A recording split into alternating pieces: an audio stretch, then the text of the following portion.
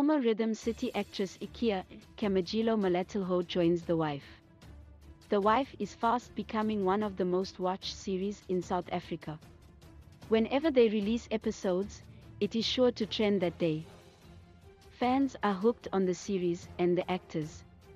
The cast has some versatility because there are as many new faces as old faces in the acting industry.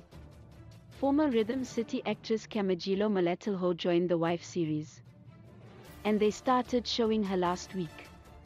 Kamogelo Molatlhoe has joined the wife cast playing the role of Hlomu's sister. She takes on the role of Lethu, who is Hlomu's younger sister.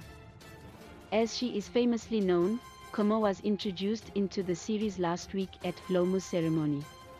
The young actress has been giving fans hints on her Instagram page of the role. She posted a picture of herself and Abdul Khoza in their traditional attires but fans hardly caught on. When she posted a picture with the Zulu kids, fans started wondering who she portrayed in the series. Kamogelo has been in the acting industry for several years now. She is most famous for the role of Kea in Rhythm City.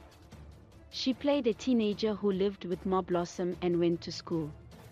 Her baby face makes it easy for her to land roles of characters that are younger than her. The young actress started in theatre after graduating in dramatic arts from the University of Witwatersrand. She made her television debut in 2015 in the segment of Bona Retsang called Living Positive as Gugu. The role opened doors for her in the industry. Next, she landed a role as Chipeng in the first season on Ingozi. Besides all these shows mentioned, she featured in the Stick Up, Mzansi Magic movie released in June 2016.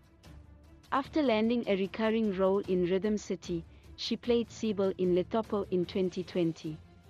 Rhythm City, which was cancelled this year in July, saw a lot of actors getting out of jobs. Some actors were lucky enough to land new gigs soon after, and Kamogelo is one of them with her minor role in the hit series The Wife.